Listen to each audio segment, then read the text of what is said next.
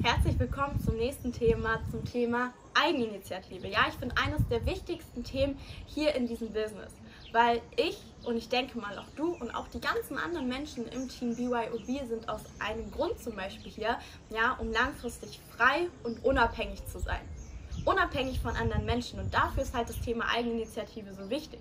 Ja, weil zum Beispiel wir in unserem Alltag, wir sind es immer gewohnt, auf Deutsch gesagt, Sachen vor den Arsch getragen zu bekommen. Ja? Oder auch Terminierung einhalten zu müssen. So, wer kennt es? Jede Person kennt es wahrscheinlich aus der Schule. Du hast bis dann und dann deine Hausaufgaben abzugeben. Bis dann und dann musst du die Klausur geschrieben haben. In der Uni, dann musst du deine Hausarbeit abgeben. Oder der Chef, du musst um 8 Uhr morgens auf der Matte stehen, darfst um 18 Uhr gehen, hast 30 Tage Urlaub im Jahr.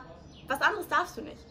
Oder dir wird morgens gesagt, heute musst du das, das und das erledigen. Das heißt, wir sind es aus der Gesellschaft gewohnt, eigentlich immer nur die Dinge umzusetzen, die uns halt auch genau gesagt werden.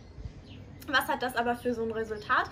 Wir sind meistens abhängig. Abhängig von dem Chef, abhängig von dem Staat, abhängig von der Schule, abhängig von den Lehrern, abhängig von der Uni, von den Dozenten, egal in was für einem Bereich man gerade tätig ist. Aber warum kommen wir hier in dieses Business, um langfristig unabhängig zu sein? Das heißt, hier ist jetzt der erste Ort, wo man selber für seine Zukunft die Initiative ergreift. Ja, Eigeninitiative.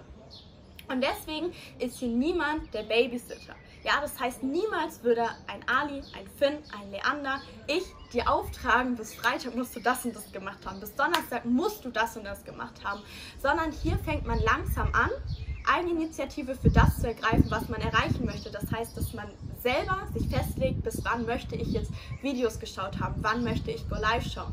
Ja, das heißt, dass man selber anfängt, zum Beispiel auch zu dem Thema Struktur. Ja, es gibt ja auch ein Thema zum Zeitmanagement, ein Video, was dazu aufgenommen worden ist, Struktur in seinem Alltag zu bilden, damit man Eigeninitiative erreichen kann ergreifen kann und so sich eine eigenständige Zukunft aufbauen kann.